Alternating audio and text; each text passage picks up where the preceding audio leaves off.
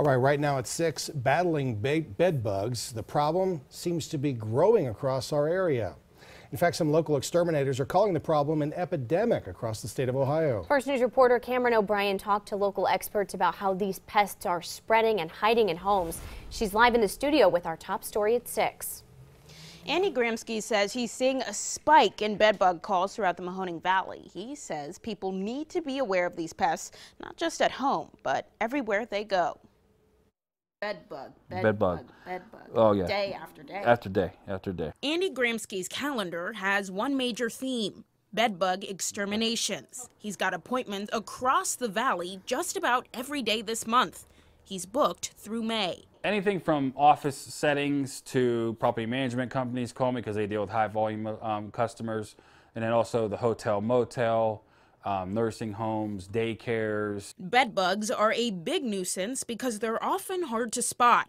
Gramsky says most folks don't know they have them till they get bit. they feed on you, then they'll hide on the box springs, headboard, footboard, behind picture frames, the woodwork around windows and doors, baseboards, cracks in floors. Gramsky showed me his process for finding these critters. It's all about being thorough. A creature, literally pull cushions aside. Looking for exoskeletons, I'm looking for eggs, live bugs, uh, the feces, which is a peppery material. The good news? Bedbugs don't spread disease to humans. Their impact, aside from bite marks and rashes, is largely psychological. That's why Gramsky says, spare no expense in getting them out. When it comes to treatment, you're better off sometimes to get it all done. Then that's just a peace of mind in your own home. You can still sleep at night.